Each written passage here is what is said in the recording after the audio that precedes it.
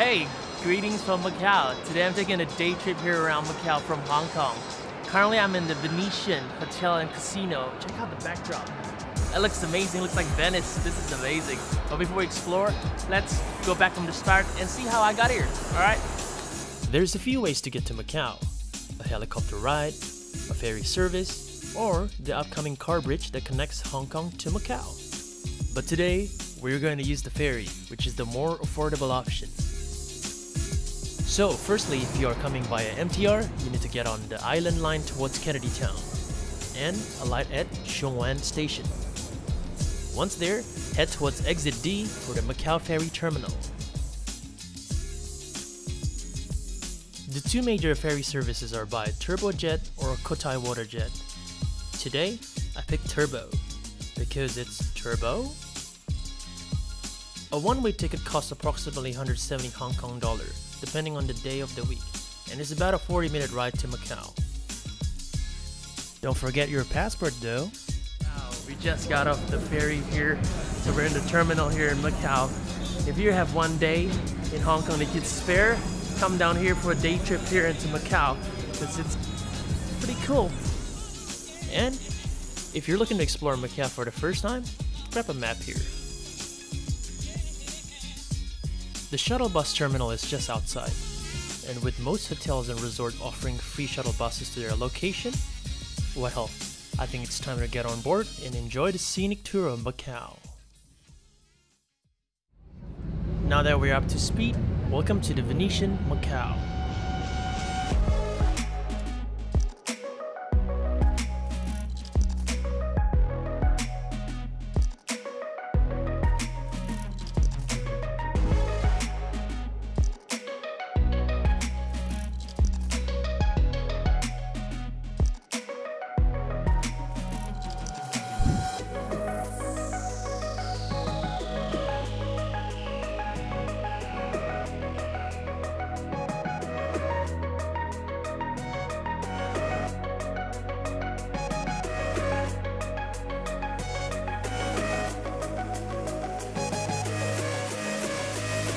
Okay, so currently we are in the Venetian food court area. Oh my gosh, there's so much selection here. There's Tim Ho Wan, there's obviously a Macau traditional food as well. Take a look. Holy, there's so much selections right here. Anyway, since I'm in Macau, I've got to try some of their traditional uh, local food here as well. So one of them is a pork chop bun just right around the corner here. Let's check it out.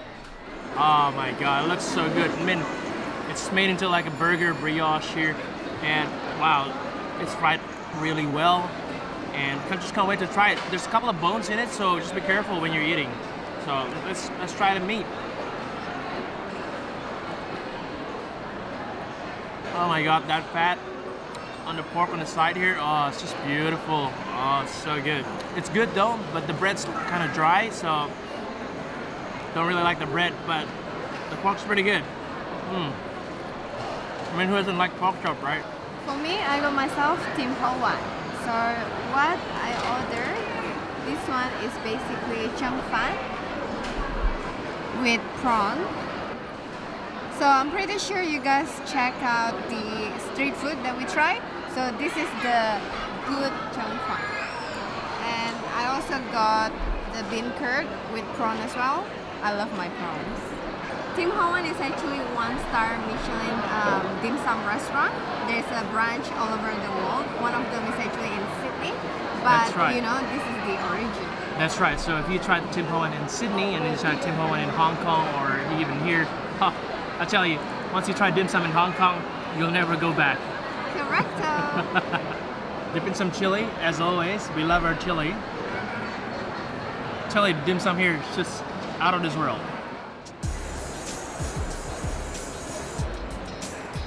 Wow, what a great lunch. Currently, we're still in the Venetian here. We're gonna check out some more places around here.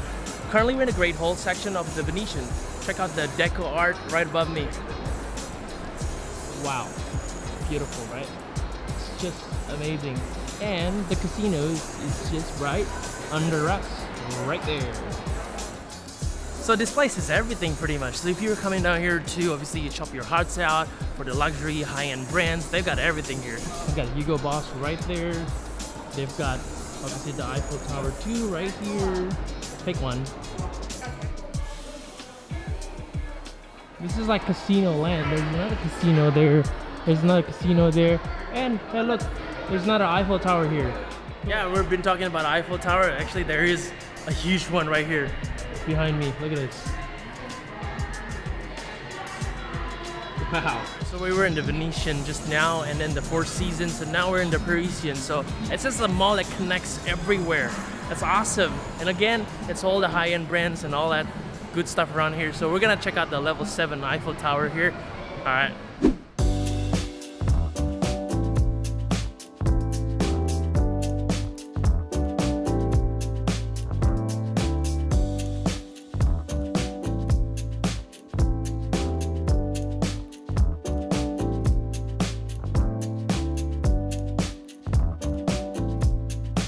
Okay, so we made it up here to level 37 of this man-made Eiffel Tower. Oh my gosh, 360 degrees views towards Macau. This is amazing. Check it out.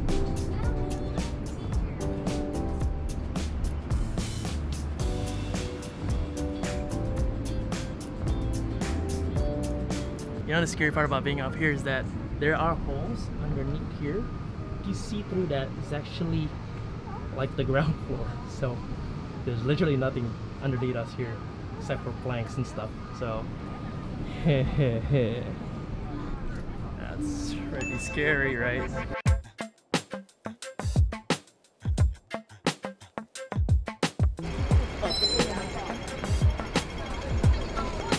Okay, so next up is Senado Square right behind me here. There's a place called Ruins of St. Paul. I want to check that out. Also want to check out some of the town center here, all the food and stuff like that. So check it out. First stop, you gotta try the Portuguese egg tart.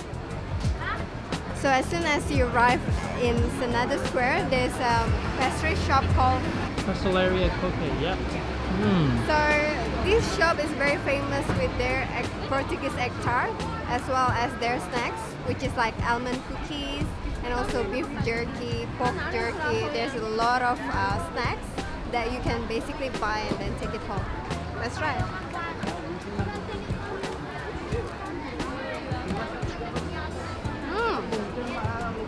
There's a lot more flavor on this one than the Hong Kong ones. It's also a lot more crispier on the edges here as well. See that? This is really, really hard and crunchy. but the flavor's there.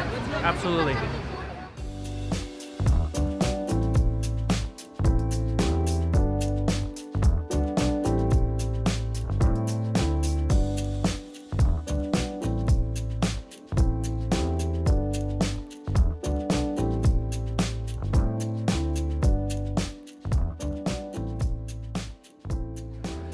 Oh, it's really, really hot. Taking a little breather here, but the one that you just saw just now is the ruins of St. Paul Used to be the St. Paul's College right behind me here, but due to fire accident in 1835, this is what remains of it, really.